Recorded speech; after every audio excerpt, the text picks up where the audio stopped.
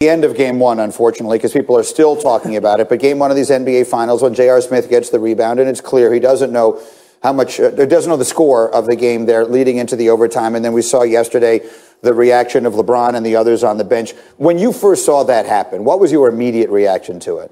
Uh, it was a bang bang play. You know, it's tough in those situations. You have to know time and score, but it's such a game that, you know, is determined by one point and this, that, and the third. And I think that he just may have been out of it. You know, sorry to Sorry to put that much on him, but it's tough. did, did, you reach out to JR? No. No. no. Ain't nobody reaching out. No, no, no. I, I, don't have any words for him. no, is there someone whose job that is? Jay and, and I and Maria, we've been sort of kicking around. Is there someone at fault for this? Should someone have had a conversation yeah, before that, that, foul shot is taken about what we're going to do in the event it goes in, what we're going to do in the event it does not? Maybe. It's, it's easy to say now, but in, in a game like that, it's tough to say. Do you guys have those was. conversations? Um, like late game situations, you're all at the free throw line. Would you have that conversation? I think you have that little conversation with yourself, you know, more than the whole team. That's what I think. right, what did you think about LeBron James's exchange with Tyronn Lue in the huddle when he realized that they didn't have any timeouts and the coaching staff didn't alert the team?